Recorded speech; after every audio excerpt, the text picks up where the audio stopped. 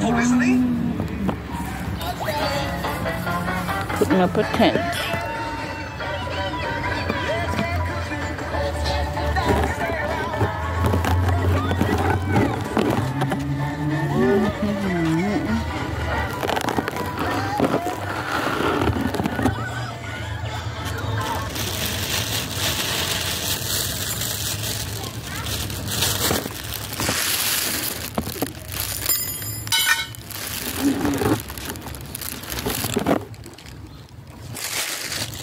Oh,